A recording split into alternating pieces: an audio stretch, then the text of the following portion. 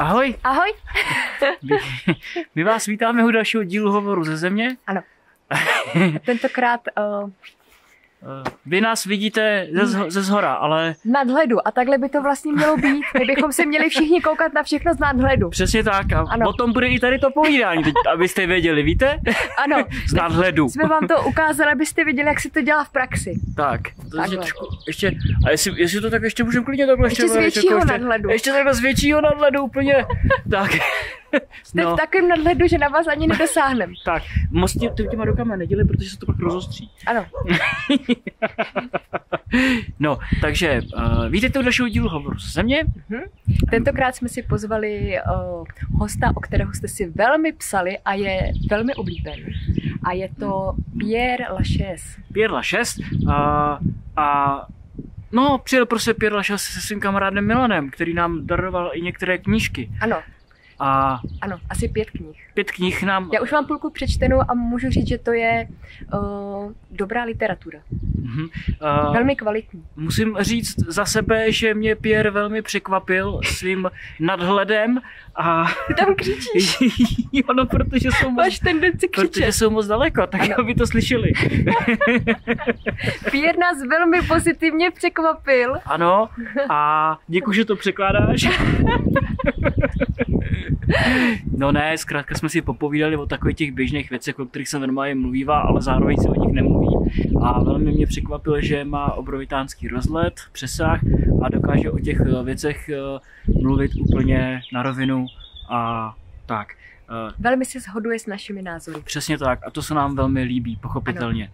No, a taky jsme chtěli říct, že tento rozhovor, nebo tento hovor, protože my nemáme rozhovory, ale máme Protože my hovory. se nerozhádáváme. Přesně tak, ale ani nemáme žádný rozpor, Ano. takže proto jsou to hovory. Tak uh, teďka mi vlítla, vlítla včelka do vlasu, nicméně, asi jak jsme oba dva žlutí, tak na sebe tady přilákáváme to. Uh, nicméně jsem chtěl říct jednu důležitou věc a to je to, že pak, když jste viděli hovor s Davidem Formánkem, Ano. uh, se kterým se To je bavíme, minulé video. ano, se kterým se bavíme o těch věcech, eh, které, o kterých se mluví, ale zároveň nemluví, tak tento hovor s Pierrem je, je pokračování. Takovou nadstavbou. Je to, ano, je to nadstavou, protože David tam zmiňuje, že tady máme jakási nějaká uh, uh, takové ty veličiny energetické, Ano. dalo by se říci, Ano. uh, ale zároveň uh, i v té hmotné podobě veličiny, které nám dosti komplikují, dá se říct i, nebo dosti komplikují některým lidem život. A my se bavíme, nebo ty se bavíš s Pierrem o tom, jak to teda vlastně O jako... bludech a to jsou vlastně takové, takový Ano. bludi. Ano, aha. Teďka mi tam vlítnul vlas dokonce. Tak, uh, Ještě, že máte ten nadhled. tak uh, vy, vy se bavíte o těch iluzích a o Ano. tom, kdo tu iluzi vlastně vytváří. A to Ano. my jsme s Davidem Formánkem jenom na, jako, takhle hezky jako naťukli. Ano. Ale ten, A my jsme to vyřešili s Pierrem, Přesně taky tak. jsme si povídali o psychospirituální krizi, do které lidé, když jdou směrem k pravdě, mohou upadnout, ale nemusí. A jak z ní ven? A taky jsme si povídali o tom, co krásného nás čeká v budoucnu, když budeme chtít. no, já si myslím, že nás čekají velmi krásné chvíle, pokud budeme uh, Ano, všichni, čekají nás velmi krásné chvíle. pokud budeme všichni v tom nadhledu. Tak a no, jinak jsme vám chtěli Jo a moc... ještě, ještě, ještě já můžu? No, Jenom, můžeš cokoliv. abyste, jenom aby to bylo pochopeno, tak um, na konci toho rozhovoru s Pierrem Jo, tak my tam zdravíme všechny bytosti, zejména lidské, a ty nelidské bytosti se ozvaly a spadlo tam světlo za náma. Tak Abyste se nelekli, eh, jak moc funguje, když něco řeknete, Ano. tak se vám to hnedka prostě vrátí. přesně tak. Tudíž my opravdu žijeme teďka v době, kdy na něco pomyslíš a hnedka to je. Ano. A ještě je tady poslední věc, pak už vás necháme jít na rozhovor, a to je, že my příští týden, už v pondělí, vyrážíme na naší cestu dokumentární a budeme po celém Česku pojedeme, už máme plus minus trasu a budeme natáčet dokument o naší krásné krajině, trošku jinak, co my jsme v ní našli, a taky o dobrých lidech v této krajině. Takže A taky ještě o Aničce, která vypráví svůj příběh, bude hrát takového sarkastistického, ironického Čecha, eh, který se probouzí postupně. který se probouzí. Ano, takže to bude Tak. také aktuální. Bude to dabovat Pavel Liška, Ano. náš kamarád.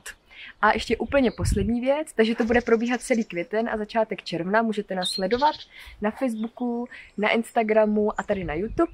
Ale Ano. samozřejmě i tak budeme dávat rozhovory, jak jste zvyklí. Takže Ano. koho to nezajímá, nemusí se na to koukat. Jo, chtěla si tím říct, že zkrátka, až my pojedeme po té cestě, tak budeme dávat uh, různě vědět třeba dva, tři dny dopředu, kde budeme. A, a tam si nás můžete klidně najít a můžeme pak si spolu popovídat a my zase pak pofach, pofachcíme. Můžeme si spolu dál. zakomunikovat s nadhledem. Přesně tak. No, takže já si myslím, že to je všechno, co jsme chtěli říct. Uh, doufám, že se vám tento úvod líbil a uh, my tady, A pokud se vám líbil, můžete nás podpořit, jo, pokud můžete se, vám, se spolu podílet na, pokud se vám líbil nejen tento úvod, ale i rozhovor. A ne, nejen toto, ne, nejen uh, povídání nebo rozhovor, uh, protože jsme říkali, že rozhovor nebudeme říkat, že jo? O, hovor. Hovor, tak, Toto tak. není rozhovor, toto je hovor. Tak, tak samozřejmě my tady máme někde nějaký ten účet nám tady běhá a my moc děkujeme za to, že uh, prostě se podílíte. se podílíte tady Ano. na tom, co my tady jako vytváříme, protože si myslím, že to je velmi důležité. Ano. A my to tady nespoplatňujeme, ta videa. My nebudeme nic Ano, poplatňovat. nikdy nebudeme, my fungujeme na dobrovolné uh, Bázi bázi, a takže doufáme, kdo že chce, to- tak ano. může podpořit A- a, kdo nechce, tak prosím A vás doufáme, že to tak nám. bude fungovat i jako do budoucna, že si lidi budou dobrovolně jako mezi sebou vyměňovat, protože my i ty knížky od Milana jsme dostali vlastně jako Dobrovolně. Do, dobrovolně jako jen tak. A já je teď no. nedo, nedobrovolně čtu. jo, Už, takže mám, už mám tři a jsou velmi dobré. tak jo, mějte se hezky, uh, užijte si povídání s Dominikou a s Pěrou a Šezem a uvidíme se na cestách. Ještě předtím, než jdeme na cestu, tak v neděli vypustíme ještě další povídání.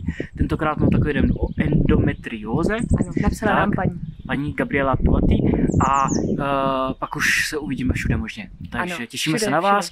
A my Eh, jsme taky všude, vy jste taky všude. Tak, děkujeme vám za vaše krásné, hezké, vtipné komentáře. A děkujeme na Eh, Pierre, na, na, děkujeme Pierovi, se styka na nás taky kouká Marlenem. Jo, zdra- zdravíme A, do, a do, taky Milana zdraví. Jo, a taky zdravíme do Jurty teda. Ano, A že se brzo uvidíme, nejspíš. no, No, možná, možná jo. tak jo. eh, A žlutý barvě zdar. Takže mějte se hezky a jdeme už to 3, 2, 1, teď. Ahoj! Ahoj, Ahoj, ahoj, ahoj. my vás moc vítáme u dalšího dílu Hovoru ze země. Uh, my jsme si to dneska dali trošku po Freudovsku. Ano, že- po Freudovsku. Ano, Ležíme, koukáme se do stropu a budeme říkat, co nás napadne. přesně tak. A nikdo se u toho na nás nebude koukat. No, uvidíme. Tak pro ty, kdo by neznal Piera, tak Pierre je uh, psycholog, Ano, uh, psychoterapeut, ano. uh, trošku i moderátor. Jsem si všimla v té jurtičce. Aha. Jsem tam. No, no jo, ano, to je pravda. Tak. Také hudebník Ano, hudebník. a taky trochu herec. Asi trochu, jo. Můj bratr mi nedávno řekl, že o mých hereckých schopnostech nikdy nepochyboval. Vážně? Ano, A myslel to ale dobře. ne, nebylo to úplně, nebyla to lichotka. A ještě něco si. Ještě píšu knihy. Takže ještě spisovatel. Mhm, mhm. A ještě něco si. Lidská bytost. Teda rád bych byl. A já bych začala hnedka tak jako uh, trošku z hurta, i vzhledem k té době, ve které se nacházíme. Mhm. A jestli bys mi mohl nějak, nebo nám všem, uh, vysvětlit, co je to iluze Mhm. nebo blud a jak bychom ho mohli třeba poznat. No, to teda vůbec není ani trochu jednoduchá otázka. Mhm. Já bych řekl, že iluze není to samé, co blud. Mhm. Takže je dobře, že to je takhle rozlišený. Myslím si, že iluze je skvělý pracovní nástroj, který, nás, eh, který nám umožňuje, aby jsme se učili. Protože my vlastně jsme doma ve světě, který iluzorní není, který je skutečný. A tenhle ten svět jsme si vytvořili, řekněme, to 3D, iluzi 3D, jsme si vytvořili, abychom se mohli právě poučit o tom, co je to ta skutečnost. A ta iluze je udělaná tak skvěle, tak přesvědčivě, že když do ní vstoupíme, tak časem úplně zapomeneme, odkud jsme přišli. A tohle začneme považovat za skutečný, skutečnější než něco, když potom někdo řekne, ale počkej, jako, eh, takhle to není, tohle není náš domov, tady jsme na návštěvě. sem jsme se přišli učit, to je takový učiliště. Tak Učiliště. My, no, tak my si říkáme... Takový učňák. Učňák prostě, no. Výuční středisko. A, a my si říkáme, co to říká za blbosti? Prostě teď tady jsme, se narodili, tady takhle žijeme a nějakou dobu tady takhle budeme žít. A potom umřeme a pak nebude nic. Mhm. To je moment, kdy člověk právě natolik propadne té iluzi, že ona skutečně začne proměňovat jeho duši. A v tom je smysl té iluze. Jo, protože potom samozřejmě, když jako je konfrontovaný s tím, že a jsou takový lidi, jo, po mně potopa, takže já si tady užiju a vezmu všechno, Mhm. na co mám sílu a na co mi stačí moje ego.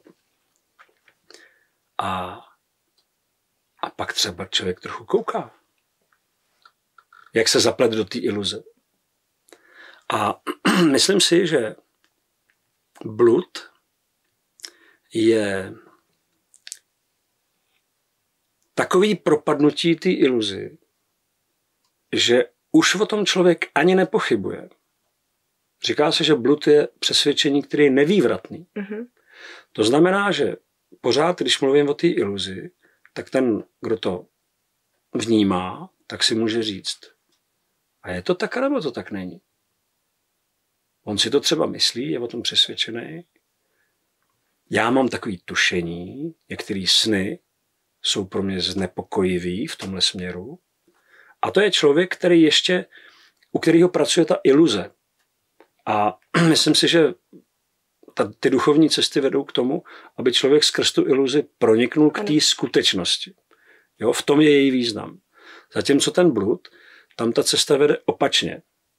Mhm. Tam vlastně nesnesu ten pocit pochybnosti o té iluzi, jestli je to iluze, nebo jak to vlastně je. A abych si to jakoby subjektivně ulehčil, tak sám sebe začnu ubezpečovat o tom, že to moje přesvědčení, že teda to je jedno, jaký je, většinou ty bludy potom, to je, na těch bludech je podle mě strašně zajímavý, že oni jsou buď takzvaně úkorný, anebo vývyšný. Tomu říkají mikromanický nebo megalomanický. Mhm.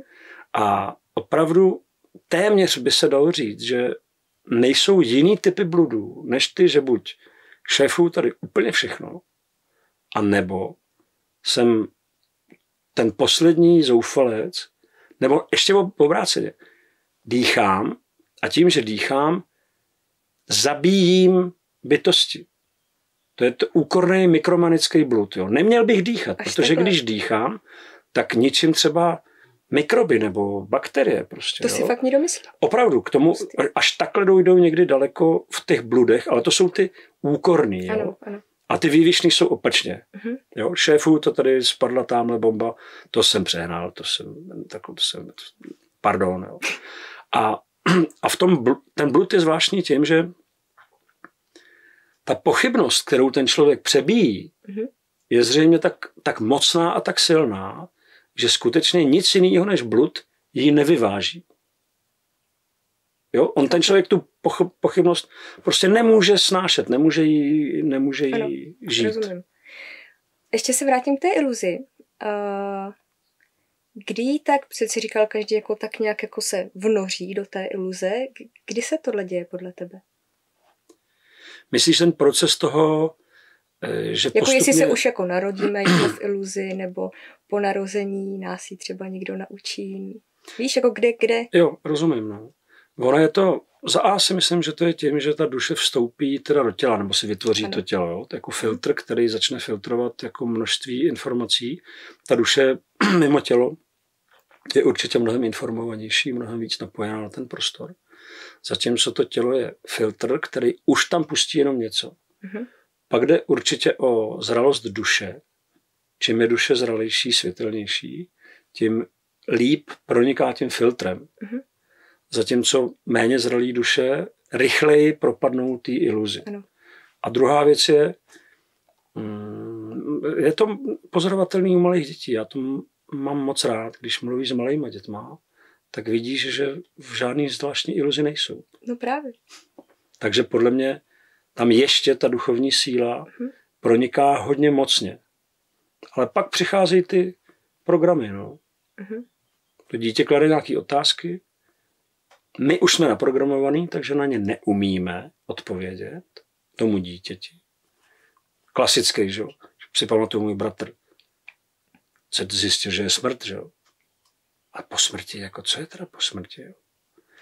A vím, že jsem už tehdy, protože já jsem to měl trochu jinak v té rodině, tak jsem poslouchal, jak ta máma mu říká, nic není. Mm-hmm. Pak není nic. A on byl nešťastný, on plakal. On, proč jsem se teda rodil, když musím umřít? To je otázka naprosto legitimní. Ano. A mělo by na ní být odpovězeno stejně legitimním způsobem prostě, jo. Podle mě aspoň by měl ten druhý říct, že neví. Ale ten druhý už je hodně hluboko v té iluzi a řekne, není nic. Není nic. Jsem začala to samé, no. No a jak jsi to prožívala? No, já vím, že jsem byla v pokoji a že jsem měla zavřený oči a snažila jsem si představit, že nikdy jako nebudu myslet, že jako nebudu. A vím, že se mi to jako, jako svým způsobem jako povedlo, jako že jako nebudu.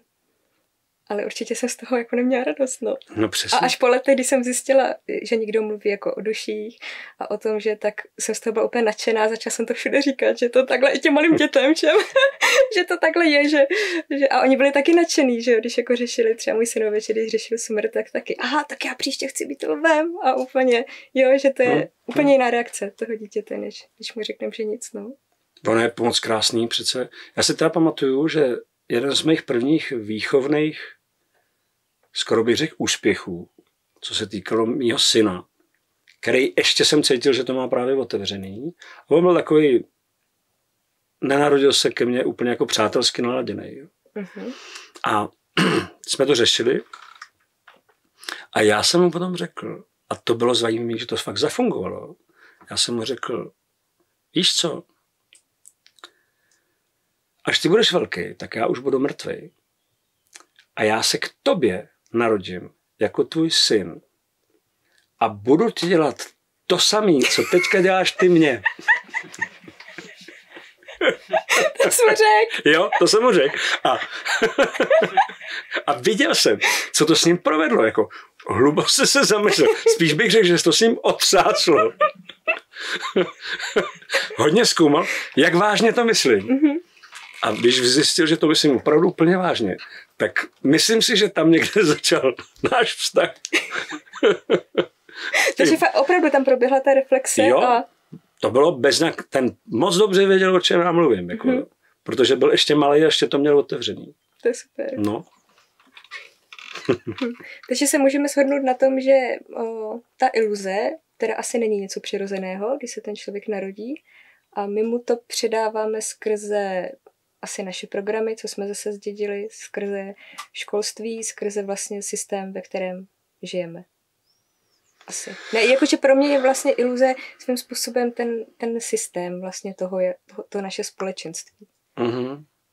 No, klidně to tak můžeme brát. Já bych spíš řekl, že už je to ten výsledek té iluze. Jo. Podle mě iluze je to, Jo.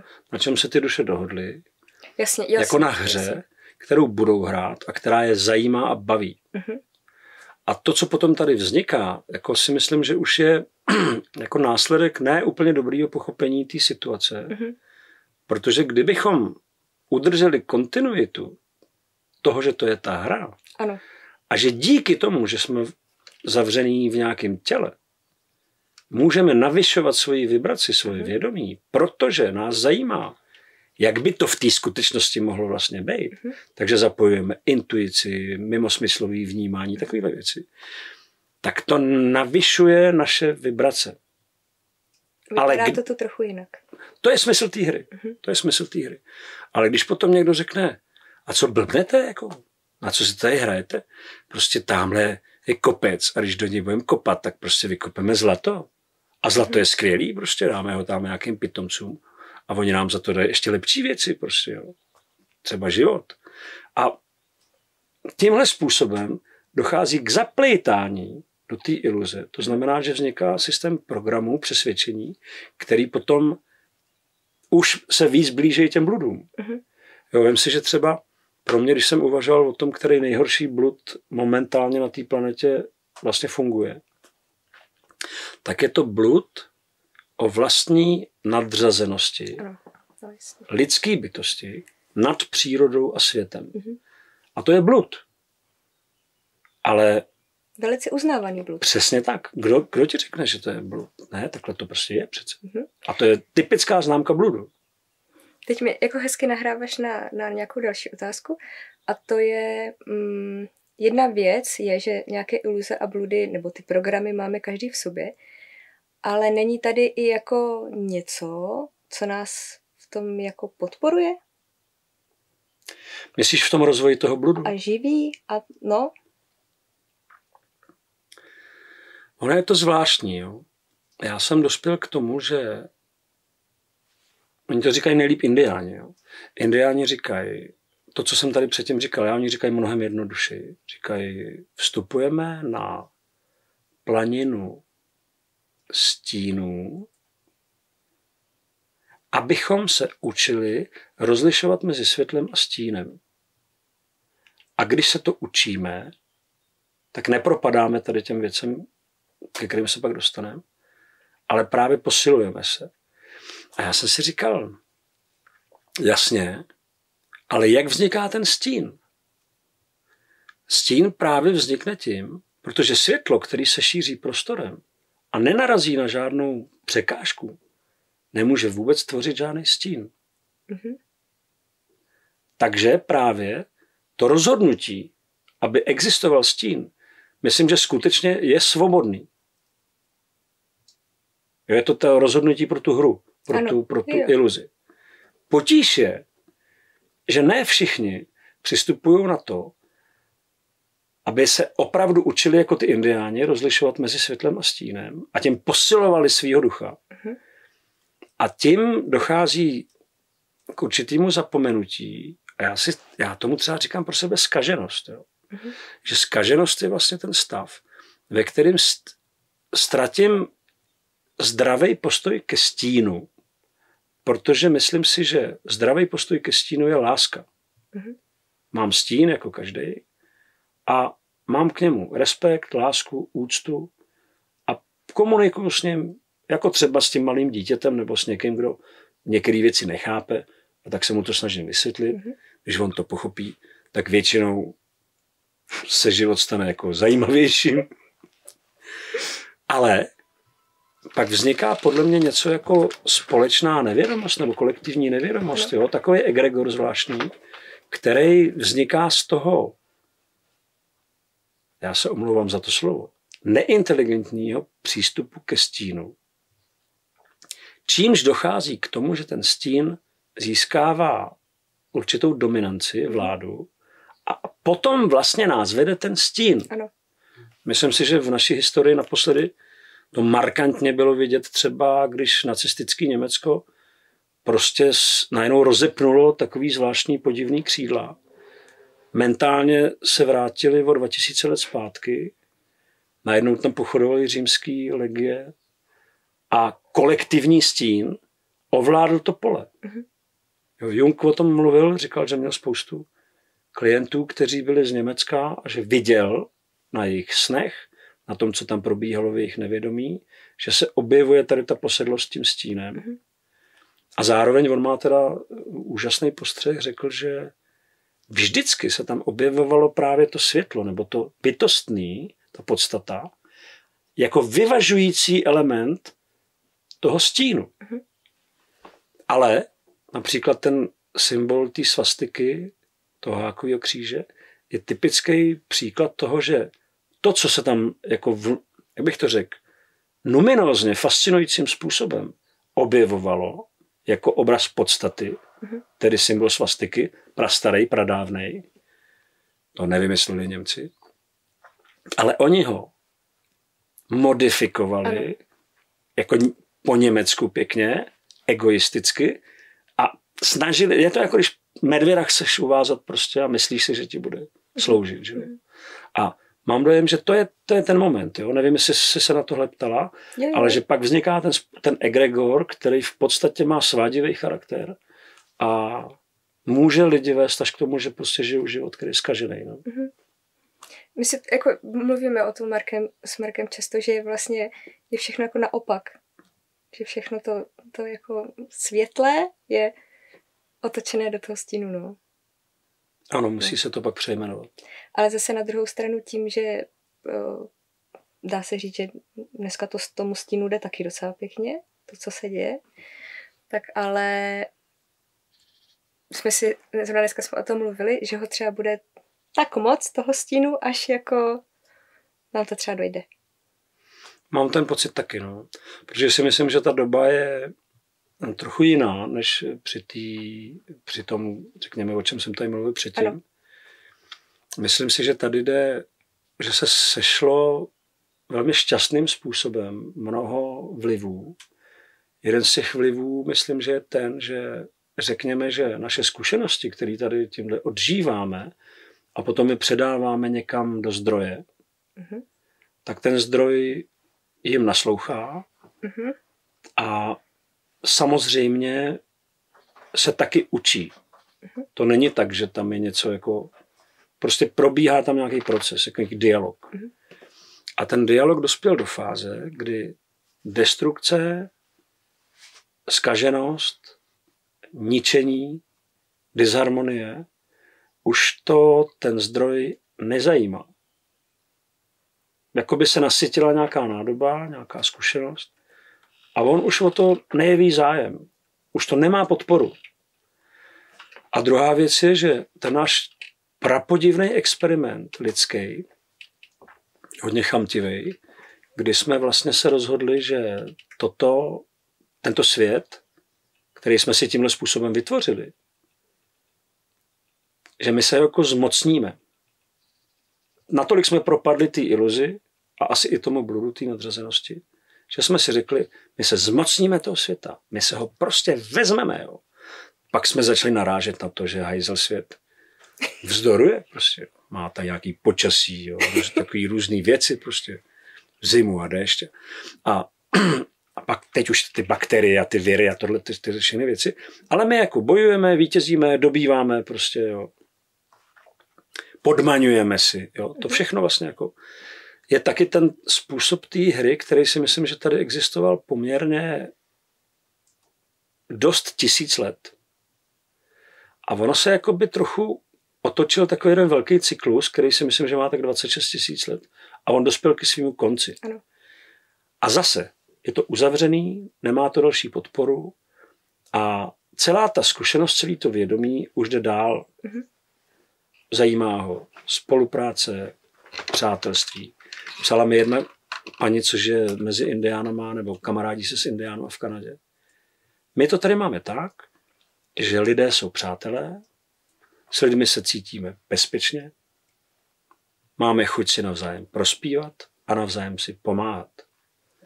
Nás to, co, čím jsme jako zaplavovaní, vůbec nezajímá. My tomu prostě nehodláme věnovat žádnou pozornost. Jo?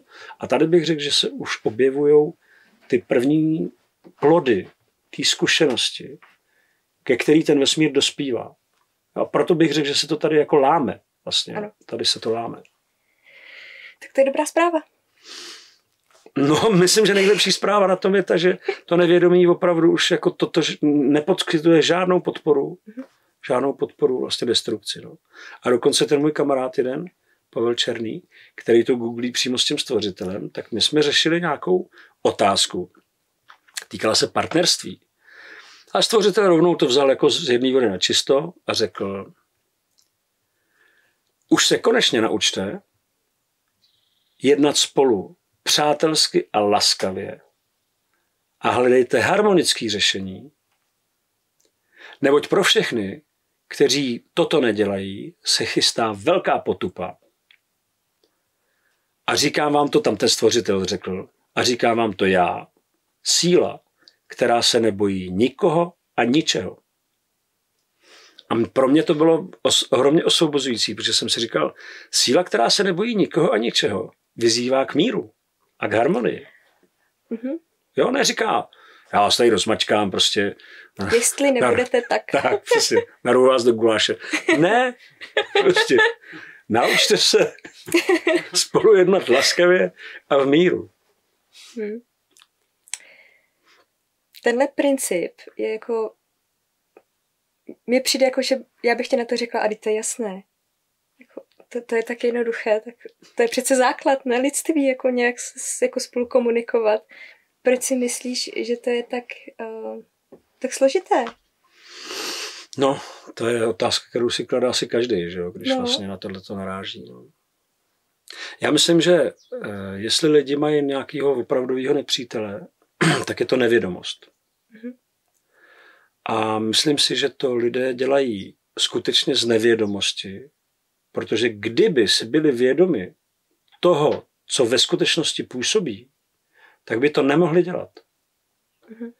Nádherně o tom mluví třeba spiritismus, jo, který je v některých zemích ohromně zakořeněný a tady je považovaný za jako pitomost, ale oni zkoumají právě zákony vesmíru a říkají, že jeden z základních zákonů je prostě narůstání vibrace a říkají, dnešní démon směřuje k tomu, že se stane andělem. Anděl nemá důvod, aby se stával démonem. On byl démonem a ví, jak trpěl. A možná, že si svoje utrpení uvědomí teprve ve chvíli, kdy, ho opu- kdy opustí ten stav. Protože člověk, který působí, a řekněme, že se, že se z něj stává démon, on se skutečně domnívá, já si myslím, že momentálně jsme se dostali do fáze, která je fantastická.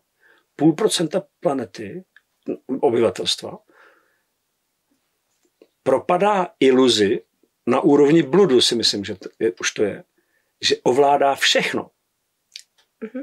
Ovládají finanční toky, ovládají informační toky, umějí ovládat zřejmě i mentální nějaký nastavení, mm-hmm. umějí, prostě teď o nás velmi dobře vědí, prostě, ale ne, naštěstí myslím, že vůbec nezajímáme.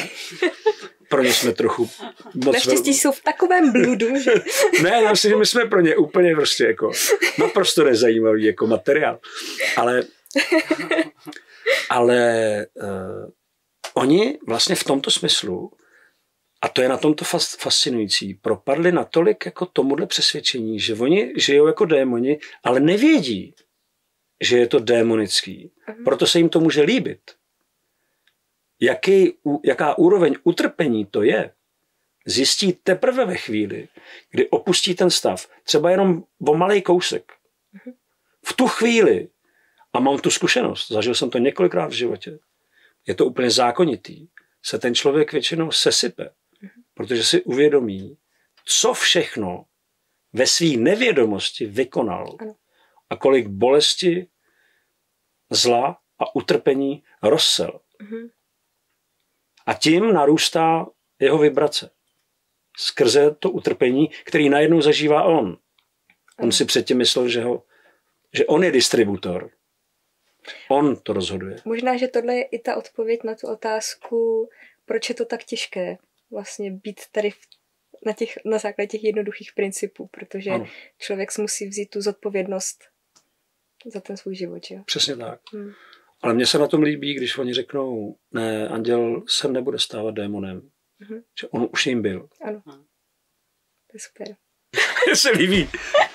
Máte to, máte to dobrý, dobře vymyšlený. No, tak jako se ti dobře? To, je to skvělý a opravdu tak jako mění ten stav toho vědomí. Že jo? jo, jo. Tak si člověk něco šlehnul. Co takový tady? My to říkáme furt, že, že to je něco jiného. Než... Ano, my říkáme, že vlastně, když člověk sedí, takže mu ty informace jakoby lítají do hlavy, zatímco tady to máš jako, ano, ano. víš, všude. No, jako když... to srdce. Přesně, přesně. Uh, já bych teďka, pokud o tom budeš chtít mluvit, uh-huh. tak bych se ráda uh, v rámci toho, že teď jsme si vysvětlili, uh, co to je ta iluze, že to tady um, funguje, když to člověk trošičku prohlédne, tak to funguje trochu jinak. Taková ta přirozená realita, nebo jak to říct, naše přirozenost, se kterou se rodíme.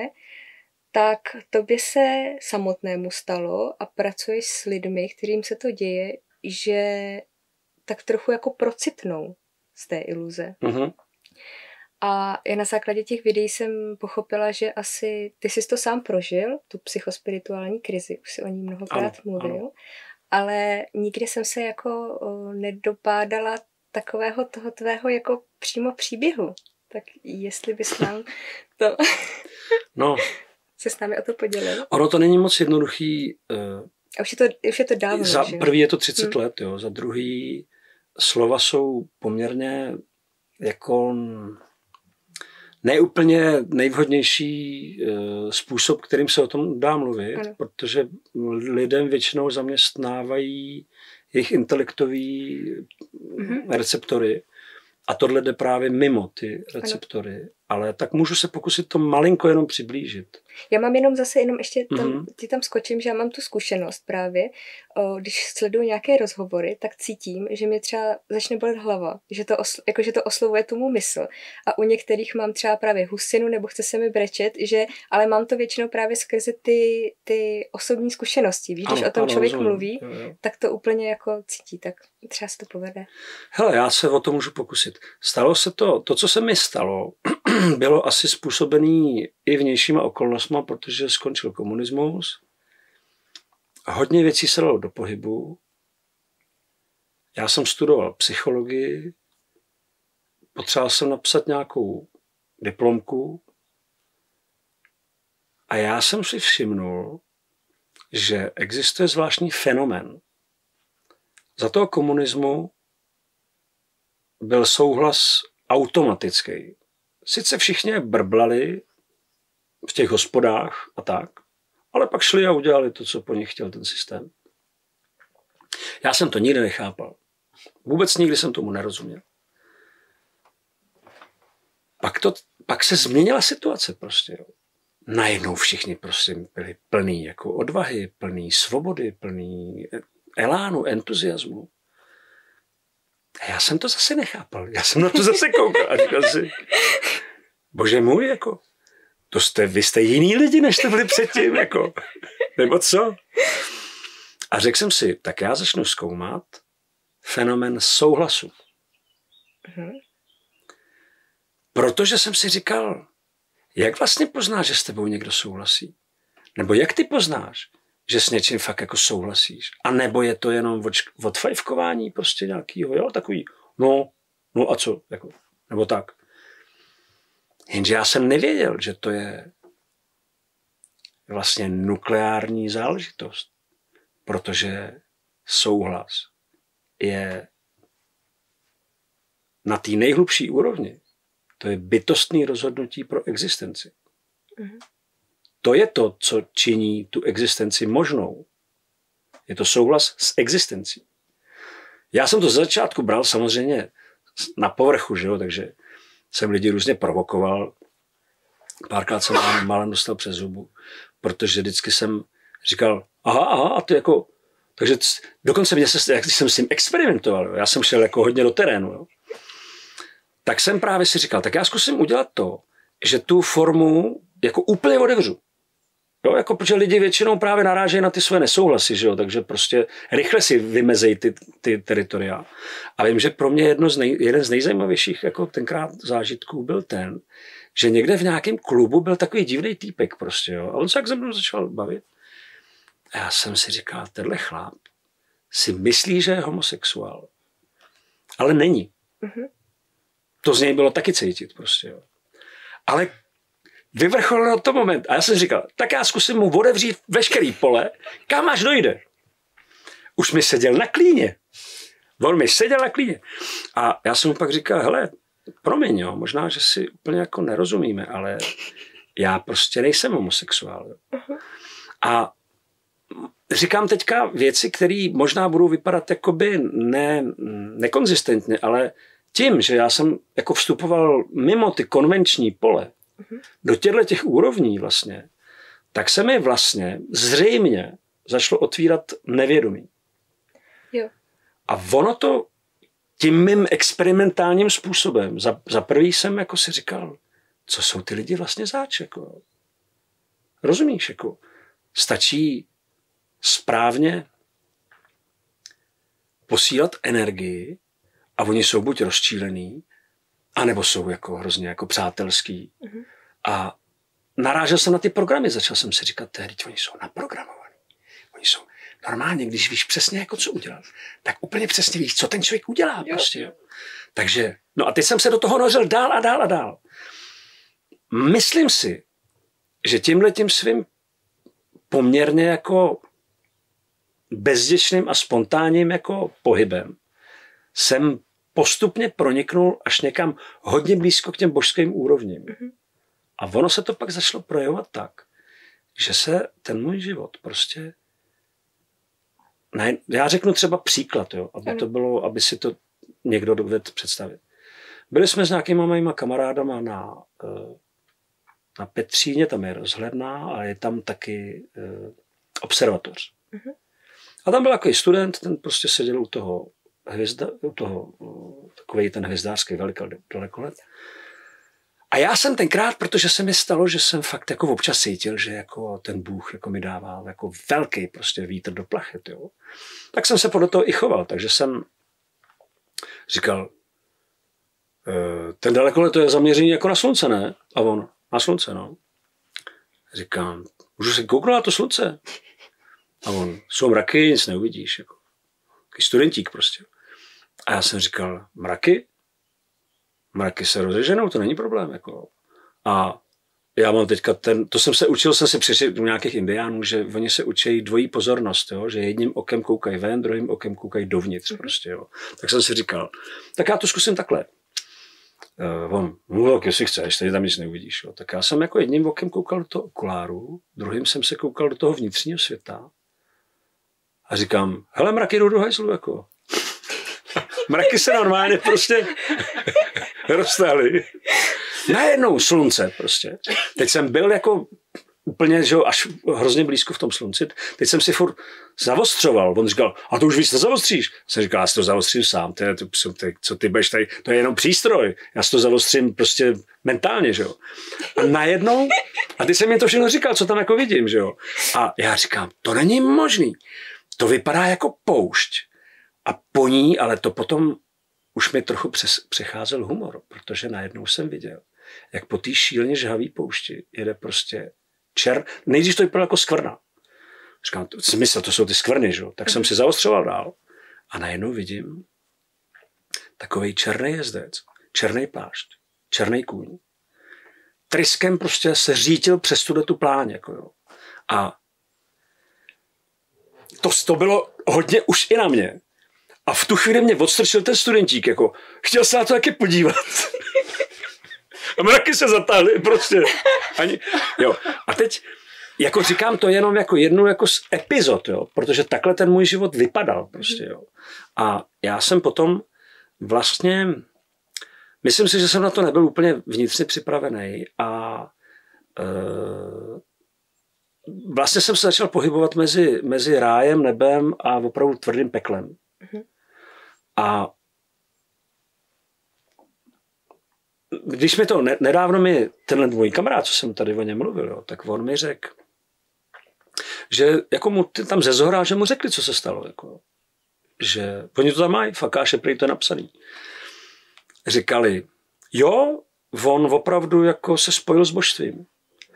Řekli dokonce takovou věc, která pro mě byla velmi záhadná a jediná mi to jako vysvětlovala, řekli, on přijal mentální utrpení celého lidstva, vzal ho na sebe. Mm-hmm.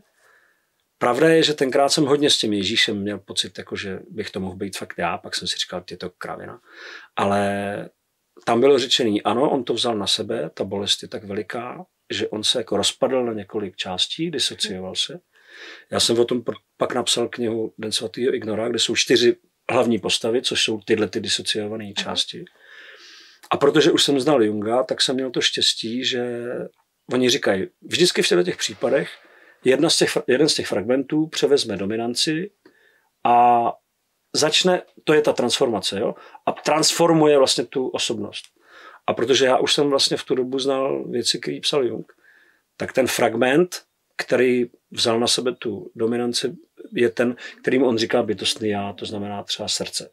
Takže já za to můžu dneska být vděčný, protože tehdejší nějaký prostě Pierre, ten jde pryč. A je tady někdo, kdo si žije jako daleko šťastnější a vědomější život, mm-hmm. ale a, a, ani by mě nenapadlo brát na sebe bolest celého lidstva. To je opravdu jako velmi pošetilý. A kdyby mě o tom někdo uvažoval, tak rád bych mu řekl, že to je úplná pitomost. Ale zas na druhou stranu skvělá zkušenost, když to přežijete.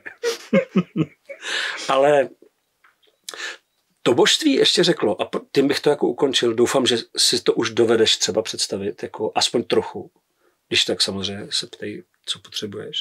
Ale to božství pak ještě řeklo, ano, on skutečně vstoupil přímo do božství, mm-hmm. ale bylo to jakoby šel po poušti a došel k oáze. Ten problém je v tom, že pak stejně musí se na tu poušť. Jo? Jakoby, že v tomto smyslu jako ten náš život, jako tak, jak jsem to udělal já, to možná byla trochu moc velká zkratka. Mm-hmm. Jo, možná jsem s tím chtěl být moc rychle hotový. no. Je to trochu srozumitelný. Je, já jenom přemýšlím, to teda uh, spustilo se to, podle toho, jak jsi říkal, na základě uh, rozhodnutí, že chceš zjistit uh, to souhlasení. Co to vlastně je souhlas? Jo. Takže tady takováhle vlastně, dá se říct, jako maličkost, Ono to, to, ono to vypadá vlastně jako, tě... ono to vypadá jako maličkost. A to si teda ale zjistil, že jo? Já jsem nakonec toho. dospěl k tomu, že vlastně souhlas a nesouhlas jsou takový dvě sfingy, mm-hmm. který střežejí prostor poznání. Mm-hmm. A teprve ve chvíli, kdy projdeš přes tyhle sfingy, tak můžeš vstoupit do poznání. Protože dokud tě zajímá, jestli tam je nějaký souhlas nebo nesouhlas, tak tě to tam nepustí. Mm-hmm. Teprve v momentě, kdy toto se stane irrelevantním, tak se ti skutečně to poznání otevře.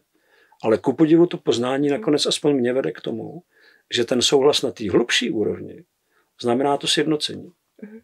Že ta bytost je sjednocená, že je jednotná, že sama se sebou není v rozporu. Jo, to znamená, to není, jestli se mnou někdo souhlasí nebo ne. To už mě v podstatě dávno nezajímá. Jo. Ale jestli já souhlasím se sebou, to mě zajímá velmi. Mm-hmm. Jo, v, tomhle, v tomhle bych řekl, že ten fenomen je, je hodně podstatný. To je super. Mm, co proto jsem, promiň, proto jsem řekl, že to je nukleární. Já jsem nevěděl, že to je jako nukleární věc. Jo. Jasně. Teprve tím zkoumáním jsem na to narazil. Uh-huh. Uh-huh.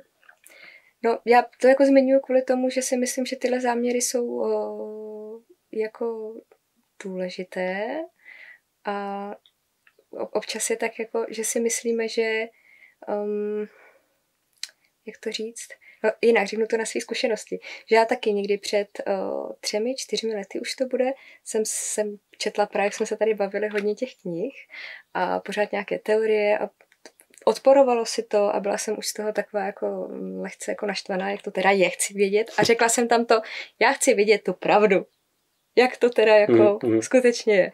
No a to byl moment, kdy se mi jako otočil jako život o 180 stupňů. Ne, neprožívám teda nějakou krizi, ale opravdu jako um, žiju úplně jiný život. Úplně, úplně jinak a, a směřuje se mi to díky bohu si myslím, že spíš tou pomalejší cestou, ne, ne nějakou um, nějakým tím osvícením a právě tím, že se člověk dostane do té psychospirituální krize. No. Tak jenom takhle. To ti moc přeju. Na okraji. Já jsem tenkrát prožíval věci, které bych nikomu nepřál. Tak řekni ještě něco. Já nevím, no, no, jako to, co si jako vybavuju, jsou samozřejmě spíš ty věci, kde člověk cítí tu moc, jo. Mm-hmm. Ale, ale mnohem horší byly momenty, kdy vlastně chodíš mezi lidma a čteš ty jejich příběhy a čteš je hrozně jako do hloubky, jo a vlastně vidíš to... Že vidíš všechno. Vidíš všechno, mm-hmm. vidíš to utrpení, vidíš vlastně ty bolesti, vidíš ty katastrofy, kterými prošly a mají to v sobě pořád a pořád trpí a pořád je to bolí. A to bylo asi možná to nejhorší vlastně, mm. co jsem tam zažíval. Pak samozřejmě to, co bylo hodně šílený, bylo, že jsem začal mít dojem, že o mě nějak jde. Mm-hmm. A že po mně tím pádem někdo jde. Mm-hmm. Jo, že, že tady je vlastně jedno bratrstvo z mý skutečného domova. Tenkrát jsem si to nějak, nevím proč, spojoval hodně s plejádama. A měl jsem to tak, že tam někde jako je fakt můj domov, že jsem tam něco trošku jako pokazil Aha. a tady jsem na převýchovným jako táboře. A oni jsou se mnou furt telepaticky propojený, mají tady i svoje velvyslance, prostě, který mě tak jako sledují, jestli už jsem se napravil, jestli už můžu zpátky domů. A proti tomu stojí druhý temný bratrstvo, který nechce, aby se tohle stalo. Který nechce, aby tady někdo skutečně jako se transformoval. Ano. Takže kdyby náhodou hrozilo, že bych opravdu mohl jako v tomto smyslu se transformovat, tak oni byli připraveni mě zlikvidovat prostě, jo. Takže já jsem pak začal mít jako opravdu těžkou paranoju. Fakt jako hustou, těžkou paranoju. A byl jsem takový, furt jsem se cítil pronásledovaný, teď jsem vždycky viděl, tady jsou tyhle. ty- Paní se se mnou dala do řeči. Kdyby to bylo v této době, tak, tak ty by si byla prostě jako vyslanec pleját, který zkoumal, jestli jako teda už jsem jako dostatečně, dostatečně napravený a můžu jako zpátky domů. A tady prostě by určitě někde číhal nějaký odstřelovač prostě, který To by byl Marek. no, no nevím, kdo ví. Ale jako bylo to, víš co, na tom je hrozný, že když vlastně se dostaneš do tohohle, do té fáze toho bludu, tak to není, že to, dneska se tomu směju, ale tenkrát to takhle bylo. Jasně. Jo. A když najednou prostě se na mě pověsil chlap v metru, že jo. A jasně jsem viděl, že několik dní vždycky tam byl, tak mám dojem, že i ty tajné služby tenkrát nějak asi jsem se choval trochu jako nápadnějc, jo. Takže možná Trochu zkoumali prostě, jo, přesně, to, je, to pak říkáš i těm paranoikům, že jo. Mm. Že To, že máte blud o tom, že vás někdo pro nás sleduje, neznamená, že vás nesleduje.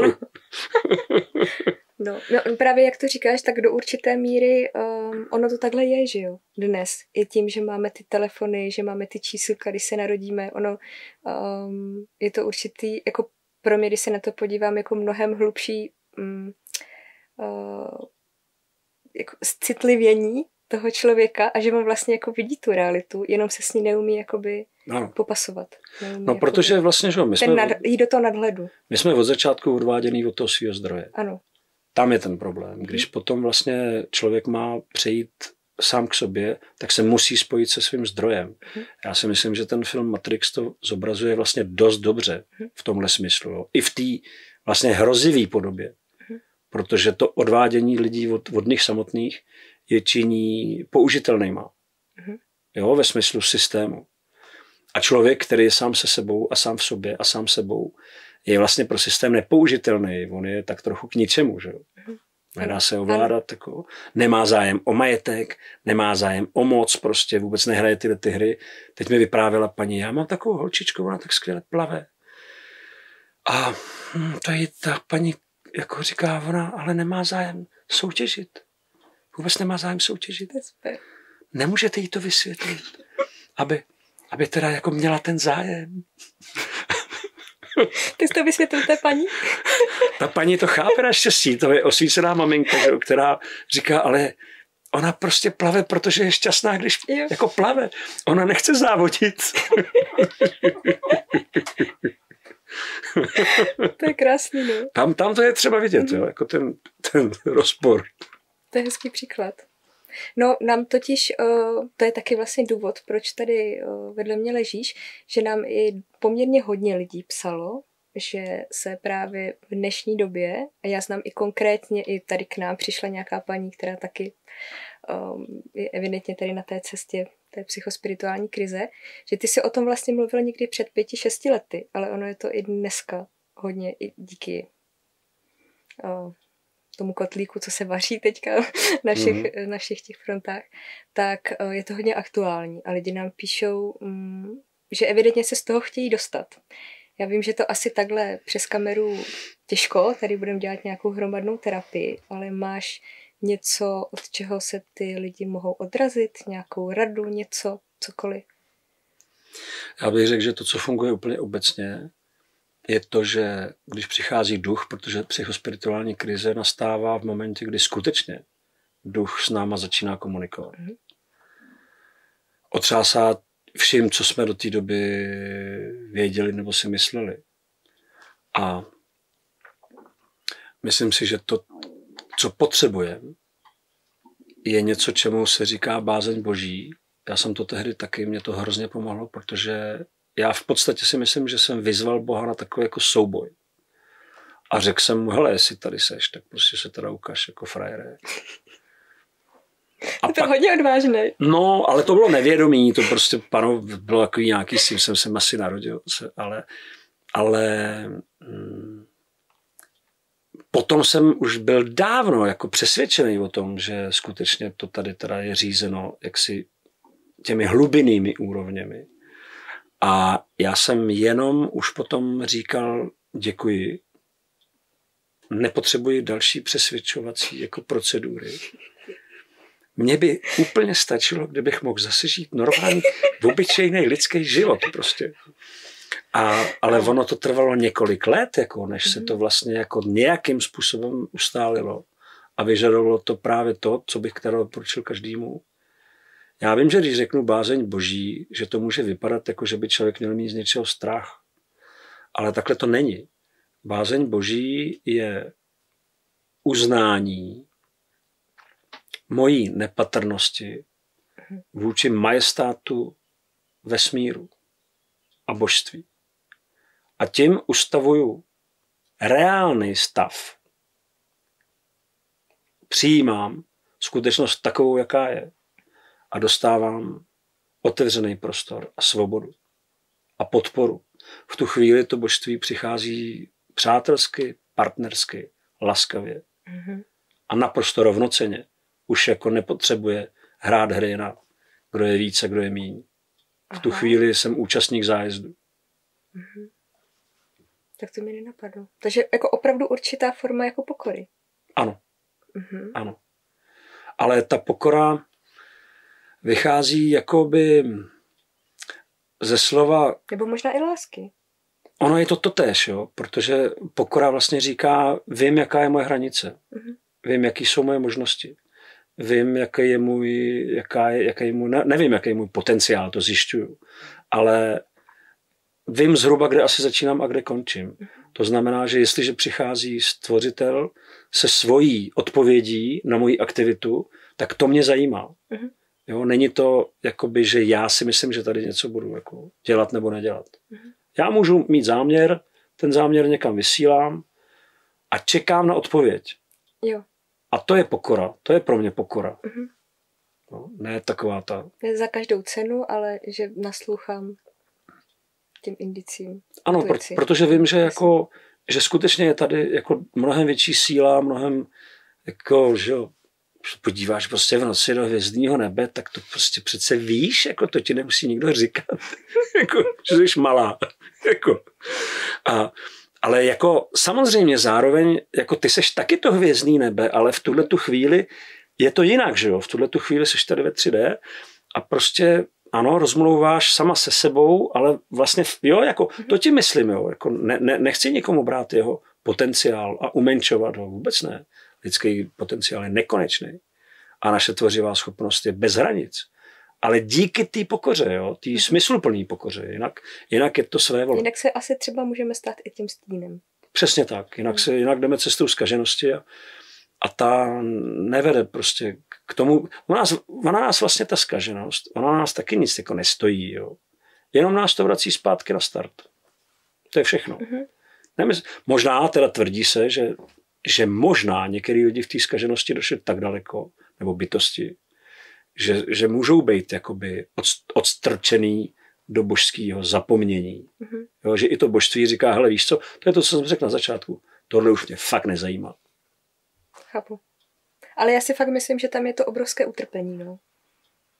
Že, no. Ano, protože... Nej... Že, že, jim to jako fakt nezávidím.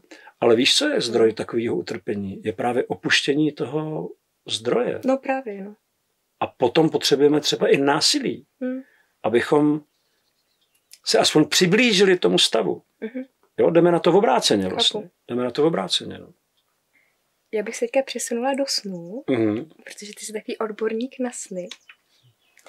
A my už tady další dobu taky tak polezi, po, polemizujeme a mi se i stalo, že minulý týden se mi zdál sen, uh, teď ho jako nechci rozebírat, ale jenom jako příklad, uh, že se mi zdálo, že jsem byla v nějaké jako kosmické lodi a tam pomalu docházel kyslík mm. a já jsem umřela. A co, jako bylo vtipné, co se vlastně stalo. Když jsem umřela, tak jsem se zbudila. Mhm. A tak si tak tady říkáme, jestli to třeba takhle není. Jaký ty máš na tenhle názor? Myslíš, jako když dojde kyslík, No, když jako člověk když člověk umře, umře. tak tak se vzbudí. se zbudí. Já myslím, že to je velmi přesný. Jo? Jo, potvrzují to zkušenosti mnoha lidí. Je, takže jako No ono samozřejmě takhle. probudí se ten, který hodně spal, že jo. No. Jako ten, kdo byl, byl bdělej, tak nemusí jako zažívat tohle, jo. Mhm. Jakoby tohle, pro, pro, myslím, že ten sen spíš ti říká, asi se tím zabýváš, asi o tom medituješ a tohle to ta duše se snaží ti ukázat. Jako já jak, jako nemedituju, ale Roz, možná rozjímáš o tom, nebo se tím, Jo, jo, jo, jo. že zabýváš se tou myšlenkou. Ano, ano. Jo. Já mám sla, rád slovo rozjímat, jo, protože je jiný, než jako o něčem přemýšlet. To je lepší. Rozjímat je to jako zkoumat na sobě, že jo, v té auře. A pak ta duše teda odpoví, že jo, touhle odpovědí, která ti, nebo nápovědou, která jako naznačuje, jak ty věci asi by mohly být. Jo. To, je, Mhm. to, jak říkám, že vím, že jsem v iluzi, ale zároveň připouštím i tu pochybnost. Jo. To je vždycky dobrý. Jo. Já tvrdím, že v té své práci, kterou jsem pak napsal o, o psychologii souhlasu právě, se dostávám na závěr až k víře a říkám, že i když třeba, že o Junga, když se ptali, jak je to s Bohem, jestli teda věří, tak on řekne, já nevěřím. Já vím. Mhm. Musel tím spoustu lidí velmi iritovat. Ale on věděl, protože šel do té zkušenosti. A já to taky vím, ale ta pokora, ke který se teď vracím, říká, raději tomu budu říkat víra, protože dokud jsem nezemřel, opravdu, tak nemůžu přece vyřknout jako poslední nějaký jako soud, Mhm. Jako, jako ten úsudek jako nemůže být jakoby celý. Protože já si myslím, že lidská bytost je syntéza dvou stavů. Stavu v těle a stavu mimo tělo. A to dohromady tvoří tu bytost. Jo, proto je to takhle. Jo. Proto než člověk jako do- dojde až tak daleko, že by to měl fakt kontinuální, tak prostě teď si myslí, že bdí, ale vlastně ve skutečnosti spí a, a pak, pak prostě se umře, ale vlastně se probudí. Ale tam taky nějak existuje. Že jo? No právě. A když jako hodně se spojí tam s tím prostorem, nevím, jo, tak si dovedu představit, že zase jako, oni to měli keltové, že jo, keltové měli. Eh, Proč, proč novorozeně vypadá jako stařec? Mhm. Protože tam na ty no. druhé straně dospělo do fáze starce Mhm. a zemřelo. Mhm. A narodilo se tady, jako novorozeně. A proto dochází vlastně zase do fáze starce a jako stařec tady zemře a jako novorozeně se objeví tam. Jo, toto je vlastně ten, ten, ten dialog, toto je ten proces. Jo. To, myslím si, že na to tě mohl upozorňovat ten, ten sen. Ale je mnoho duchovních nauk, který spěřují k tomu, aby člověk třeba, když zemře, aby nemusel ten přechod mezi těma stavama být ostrý Aha. aby byl kontinuální. Já třeba jako covidu jsem vděčný za jeden moment, kdy jsem teda vomdlel. A myslím si, že to bylo proto, že jsem, že to tělo bylo hodně, hodně jako vyčerpaný. A já jsem zažíval takový ten moment, že jako vstaneš a zatočí se ti hlava, to známe asi všichni, že jo. Tak jsem tomu nevěnoval žádnou zvláštní pozornost. Normálně jsem vyrazil směrem jako prostě na toaletu a najednou jsem byl v takové jeskyni. Velice příjemná jeskyně. Cítil jsem, že tam někde jsou nějaké bytosti. Taková šeřelá, hodně, mě tam bylo dobře. A říkal jsem si, tady jsou nějaké bytosti, já se s nimi zkusím nějak propojit. A najednou jsem, takhle jak tady jsme, jsem se jako probral. A my máme, že jo, takhle jsou dveře, které vedou jako na tu toaletu a vedle nich je, jsou, mám v bytě kamennou stěnu, udělal jsem si ji z kamene a do toho kamene je zapasovaný krb. A já nejsem zvyklý se na ten krb dívat ze spoda. A viděl jsem ho ze spoda. A říkal jsem si, já asi ležím na zemi. A moje milá říká, ty jsi omdlel. Já říkám, asi jo, asi jsem se fakt omdlel. Ale říkala, bylo to zajímavý, ten pát jako nebyl nějak prudkej, takový spíš si si tak sednul a pak si si tak jako lehnul. A já říkám, bylo to tam hrozně skvělý.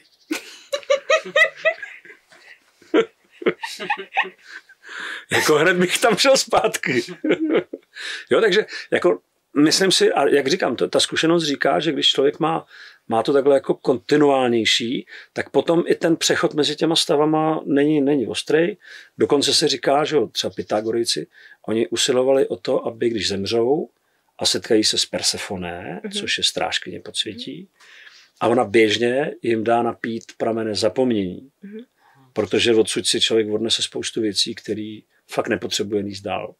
Mm-hmm. Stejně tak, jako je to i když přichází sem. Mm-hmm. Říká se, že tady to, co máme, že máme od toho anděla. Jo, který ti řekne, jako nikomu to, ne, nikomu to neříkej. mám jednu kamarádku, ta to má hodně hluboký a říkala, já fakt jako toho mám na srdci hodně a oni mi to tam hodně jako zavřeli. Nebo hodně mi to klade na srdce, ať o tom mm-hmm. fakt nemluvím. A a vlastně ta Persefone, proto vlastně těm zemřelým, ona je brala doleva, tam byl ten pramen zapomnění, oni se z něj napili a v pohodě mohli tam existovat. Mm-hmm. Ale ty Pythagorici říkají, ne, my chceme dosáhnout tak vysoké vibrace, aby Persefone nás pustila doprava. Mm-hmm. A nemuseli jsme zapomínat na to, kde jsme byli, co jsme žili a tak dále. Jo. To znamená, že a já tu uvádím jenom jako jeden z příkladů, těch příkladů je mraky. Jakoby tohle je nějaký archetypální pocit člověka, že chce vlastně být kontinuální. Mm-hmm. Já bych se ještě chtěla vrátit nějakým způsobem. Vlastně nevím otázku, ale k, té, k té zodpovědnosti. Mm-hmm. No, že já bych si hrozně jako přála, aby, abychom uh, všichni jako vzali tu zodpovědnost do svých rukou. Uh, máš k tomu něco? Mám. Nějakýho klienta, cokoliv? Mám k tomu to, že hm, myslím, že to je ta brána, která vede do budoucnosti. Mm-hmm. A já to říkám takový jako příklad, který může pro někoho být třeba urážlivý. Že tady do teďka ta, na té planetě, tím, jak jsme eh, se věnovali tomu experimentu zlodějskému, že stojíme proti tomu prostředí a vlastně s ním bojujeme a přemáháme ho, že zároveň je v tom taková všetečná nenechavost, určitý takový jako opičí energie. Mm-hmm. To si řekla přesně opičí energie. No a vlastně, a vlastně jakoby ta opice, která nepotřebuje právě se zabývat nějakou zodpovědností, ale tou svojí všetečností dosáhla stavu, kdy se stala morfogenetickým jakoby morfogenetickou silou. Ona, ona proměňuje planetu. Jo, ona proměňuje prostředí. Vlastně tím, jak si všechno bere a na nic se neptá, se všem si tak zkouší, co je geneticky a takhle upravit, jo, aha, tohle. A jako neptá se právě na tu zodpovědnost, jo, ona čistě jenom všetečně prostě to všechno zkoumá, ale najednou získala do ruky tak ohromnou moc, nebo spíš sílu, že teda proměňuje tvář planety a je schopná teda zatím poměrně negativně hm. působit na to prostředí. A proto se musí transformovat a proměnit v bytost, která právě bude schopná té zodpovědnosti. Jinak si myslím, že ta opice sama sebe prostě zlikviduje. Mhm. A je to tak v pořádku. Protože ten vesmír je jako zajímavější než to, co ta opice tady jako předvádí.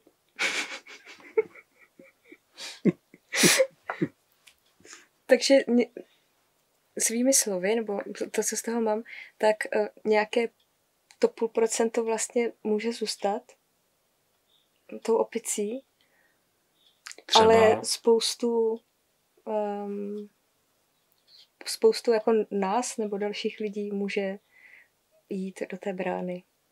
Ano.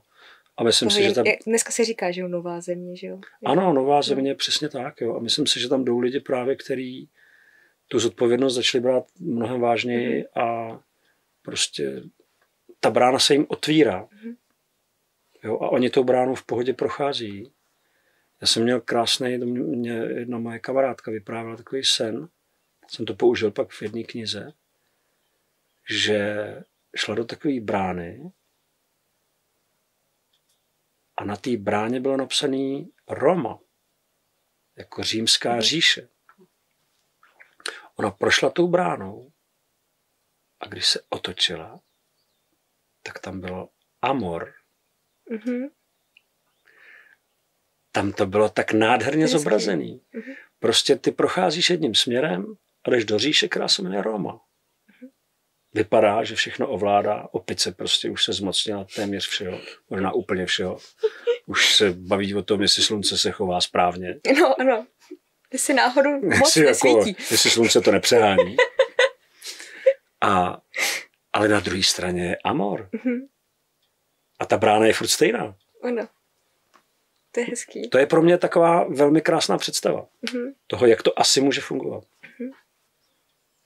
A myslím, že to taky je. Doufám. Doufejme. Hele, Myšík má nádhernou písničku, kde říká, život je, báje, svět je báječný, jen když to chceš i ty. Mhm. A myslím si, že tam někde jako je ten klíč. To je super.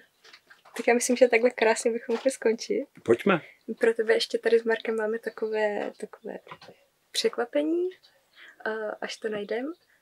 Tam, tam, tam to musí být. Jo, je to tam. Není tam krabička. Já to všechno uklidím, já jsem hrozná. Není tam. Tak, tak Já to taky vždycky nemůžu najít. Když to moje milá uklidí, já už to nikdy nenajdu. Ano. No vidíš, naladil se na tebe. Není. Už to mám, není. Děkuji. Jsi vybral, jo? Tak já tě poprosím, aby si zavřel oči Ano. a nastavil svou dláň. Tak. A tohle máš od nás na památku. Myslím, že to, že, že to krásně zhrnuje. Už můžeš klidně otevřít, Já to chceš. cítím. A ty už to víš. ano. No tak moc krát děkuju. závěr. Tak jo. Tak děkujeme moc, že jsi k nám děkuju. přijel společně s Milanem, že jste nás tady navštívili. Ano. Bylo to krásné. Zdravím všechny lidské bytosti. Ano, zdravíme všechny lidské bytosti, jenom ty lidské. A Zdravíme všechny bytosti a zejména ty lidské. loučíme se s vámi, budeme se těšit příště. A ahoj. Ano. Ahoj, ahoj. Ježíš, ale to byl teda...